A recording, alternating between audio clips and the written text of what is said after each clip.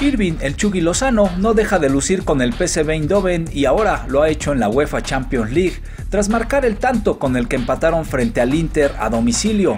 En la última jornada de la fase de grupos, el delantero mexicano abrió el marcador, con lo que sumó cuatro tantos en la competición europea para convertirse en el máximo goleador del conjunto granjero, galardón que comparte con Luke de Jong, pero el mérito crece para Lozano luego que no es un delantero centro como su compañero.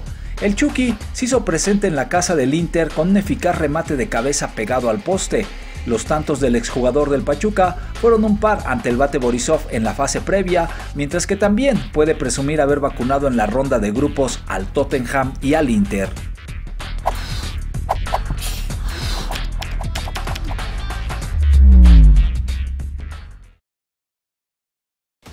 La final más polémica en la historia del fútbol se define en Telemundo.